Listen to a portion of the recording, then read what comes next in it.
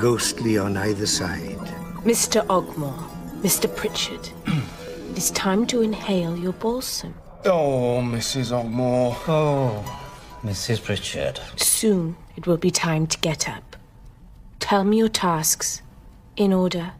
I must put my pajamas in the drawer marked pajamas. I must take my cold bath, which is good for me. I must wear my flannel band to ward off sciatica. I must dress behind the curtain and put on my apron. I must blow my nose In the garden, if you please. in a piece of tissue paper which I afterwards burn. I must take my salts, which are nature's friend. I must boil the drinking water because of germs. I must make my herb tea, which is free from tannin. And have a charcoal biscuit which is good for me. I may smoke one pipe of asthma mixture. In the woodshed, if you please. And dust the parlor.